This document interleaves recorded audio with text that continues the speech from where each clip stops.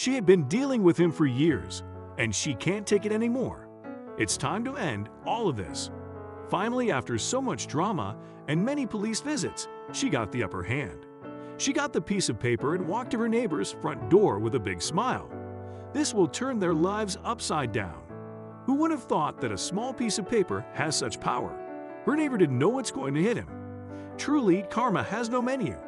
You get what you deserve. To buy a home in Hawaii, their dream destination, Emily Swanson and her husband had to save money for decades. It was uncomfortable to live on a budget, but with some luck, they could buy a home with five bedrooms, including a large backyard and an oceanic view. Their joy was indescribable. After all, they finally got their dream house. All the hard work they did was well worth it. Everything was going great and going well according to their plan. However, there's one thing they didn't think of neighbors. In this case, a neighbor that lives next door. They were unprepared for what their neighbor would be like. It all started when the couple tried to get rid of an old playset. They got to know Tanya, an older woman who only talks with profanity. They were shocked to know such a person exists. When she found out they were getting rid of the playset, she immediately ran to their front door and told them they didn't have legal rights to throw it away. It was her children's belonging after all. Emily tried to be calm while pointing out the facts to her neighbor. Actually, they found out about the old playset when they were cleaning the farm. When they asked the landlord about it, they gave them a signal to throw it away.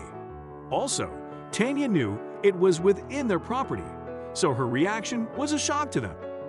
The children were allowed to play within their own part of the land, but their land was theirs to decide what to do. Emily can't help but feel a sudden burst of hatred towards her neighbor.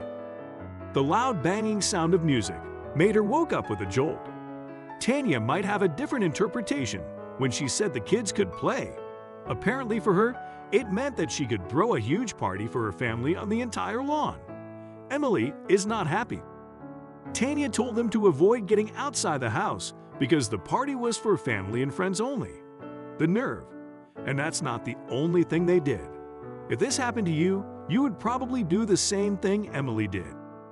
The living room was the only part of their house that has lesser noise. So Emily and her husband were just in the living room while the party was going on when a partygoer suddenly walked inside their home. Emily told him that the house he was looking for was on the opposite side of the street. Tanya said she owned the whole property and we can use whichever bathroom is available, the stranger said. Emily was shocked by what she heard. What? she said. Emily was enraged even before hearing it, but her blood boiled when she heard the man. A few minutes after asking the stranger to leave, Tanya surprised her. She walked through a whirlwind of cheap perfume and leopard print to talk to her. You had the audacity to make me look back in front of all my guests, Tanya yelled. Emily was taken aback by what she said. Tanya also said it was rude to refuse her guest to use the bathroom for a few minutes, and she didn't stop there. She even told the couple that they did not deserve such a big house all by themselves, and she wasn't done. Her shamelessness left the couple speechless.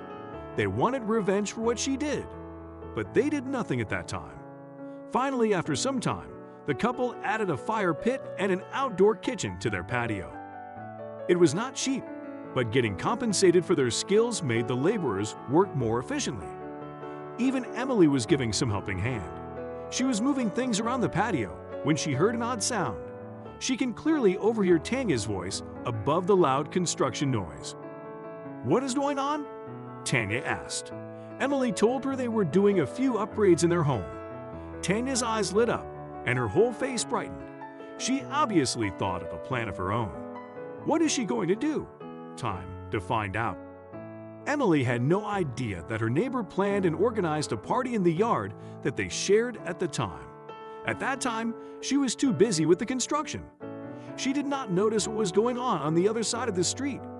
Tanya was up to no good. Earlier in the day, Emily had been drinking her cortado and watched the workmen construct a fence. It had been a peaceful morning until she overheard another adult tantrum from her present location. Can you figure out what she heard? Tanya was angry by Emily's barrier around their shared area. Emily and her husband shared a look. This was clearly going to be an issue with this obnoxious neighbor. But not long after that, a new person appeared on the scene. Tanya's boyfriend at the time was Billy. He immediately started tossing his beer cans and cigarette butts over the fence and into Emily's yard. He said he was acting in this manner because they were disrespecting his lady, but as we all know, this was not the case. They were absolutely evil next door neighbors. They continued to have loud arguments at late night parties, which did not improve things.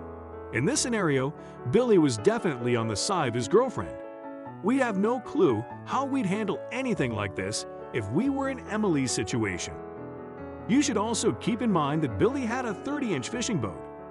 The problem was that their side of the home only had 15 inches of dockage. Emily paid more for half of the duplex. Therefore, it was only natural that they should have more docking space. They had 150 inches, to be precise. Emily and her husband supplemented their income by renting out the additional rooms. Renters may lock their boats to the property boundary and pay their rent monthly. Tanya and Billy were irritated by this.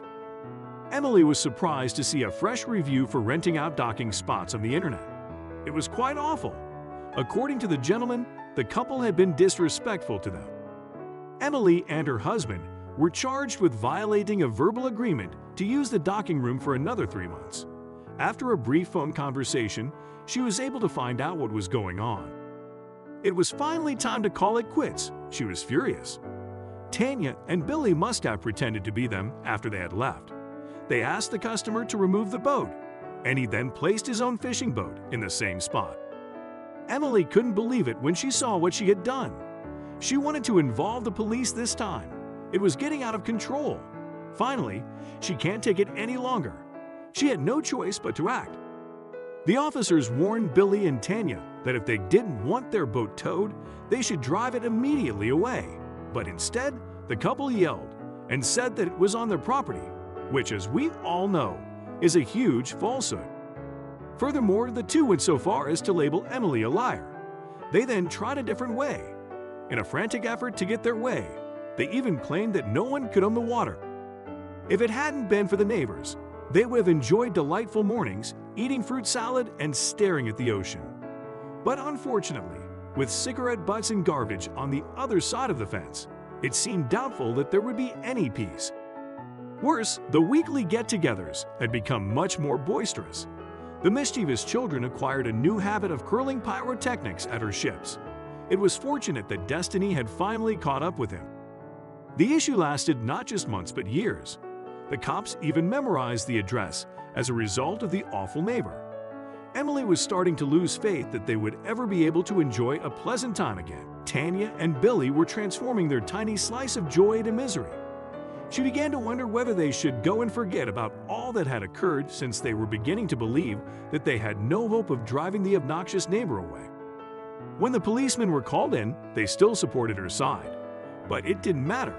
When they had to spend their money, it seemed like they were squandering their time and effort. Stress had become an unavoidable part of their daily lives. Emily was on the edge of giving up when her landlord contacted her with a fresh chance. She must have been captivated by it since she refused to go and refused to give up. The elderly gentleman had had enough of the property market and refused to act as a landlord any longer. Dealing with the crazy female who never closes her pie hole was especially vexing for him. The landlord was clearly wary of this specific lady as well. When Emily heard what she was saying, she couldn't believe her ears. He offered her a once in a lifetime opportunity to fix all of their issues with the flick of a finger. She couldn't believe how simple it was. He was frantic for a buyer for the other half of the home. His first impulse was to inquire about Emily and her husband's involvement. Emily made a wonderful decision in purchasing the property for a variety of reasons. For one thing, her elderly parents were allowed to live with them. She was happy that the surgery went off without a hitch. She began working on her approach as soon as the paperwork was completed. They weren't total morons. Before the big day, they registered an LLC and double-checked the end of the lease on the opposite side of the duplex. Emily and her husband were also in charge of preparing the notification documents.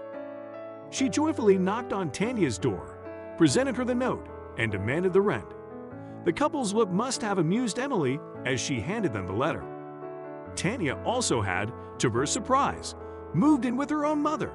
The elder mom was humiliated by her daughter's conduct. Tanya's mother, in fact, expressed sorrow for what had happened during the preceding several years. She cried to Emily, I didn't raise my daughter to live like this. Tanya's cheeks flushed with embarrassment and indignation as she understood what had occurred. However, when she witnessed what had happened, she was taken aback. Emily had no clue she'd be able to create such an alliance all this time. But thanks to the elderly lady, they found a fantastic technique to preserve the peace in the duplex. Aside from that, she was a fun person to spend out with. Every Wednesday evening, Emily and the older lady would bake and drink. Tanya will be filled with rage the whole time. She'd be unhappy, of course, but there's nothing she can do about it. Emily and her husband were not in any way angry. On the contrary, she didn't mind if they stayed there for the same fee until they could find a new place to live. Her sympathies for the older woman became stronger. No matter how quick or sudden the separation, Emily would find it difficult to say goodbye to her and their relationship. After some time had passed, they ultimately departed the home. Their possessions were loaded onto moving trucks and driven away. Tanya, on the other hand, had no plans to go peacefully. Instead, she delivered another caustic note to the mailbox. It was much more enjoyable since she did it on animal print paper. Emily let out a sigh of relief. She was finally able to unwind. She could finally enjoy her own patch of heaven years after moving here. It had taken a long time to arrive, but the wait had been well worth it. She must have been happy with herself for not giving up and persevering till she reached this point. After what had transpired, there was little question that all those years of tolerating Tanya had not been in vain.